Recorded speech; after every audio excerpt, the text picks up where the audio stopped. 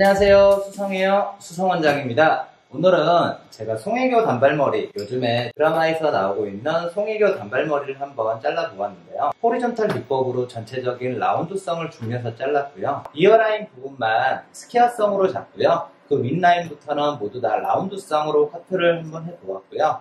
앞머리는 약간 이렇게 자연스럽게 연결한다 느낌으로 했고요. 아무래도 일직선 머리여도 귀 뒤로 이렇게 넘기다 보면 natural층이 좀 이렇게 형태감이 좀 자연스럽게 나오는 스타일이 되실 거예요.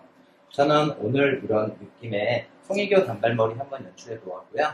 horizontal 기법으로 커트를 전체적인 round성과 square성 그리고 일자머리 이런 느낌으로 커트를 하실 거기 때문에 그렇게 어렵다는 생각은 덜 드실 겁니다. 미용인들에게 조금이나마 도움이 됐으면 하는 마음에서 영상 찍어 보았고요.